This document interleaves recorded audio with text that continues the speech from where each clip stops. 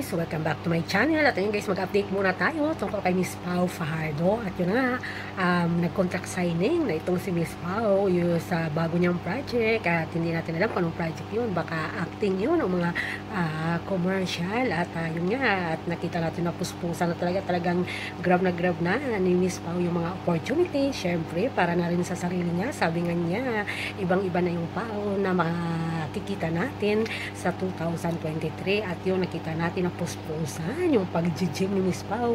Uh, kung uh, syempre nakita nyo na ang payatan ni Pau at ang ganda na ng katawan ni Pau at uh, lalong bumata. Syempre nung nag uh, nung nag-slim siya, 'di ba? Nakita nyo na talaga namang angat na angat yung ganda ni Miss Pau at talagang positive vibes lang at uh, talagang moving forward na itong si Miss Pau Fajardo. Kaya naman uh, sa mga fans diyan, be happy to Miss Pau Fajardo at uh, supportahan na lang natin yung mga uh, uh, project na parating uh, kay Miss Pao Pardo. Yan lang ang update natin sa ngayon. Thank you for watching. Keep safe. Bye!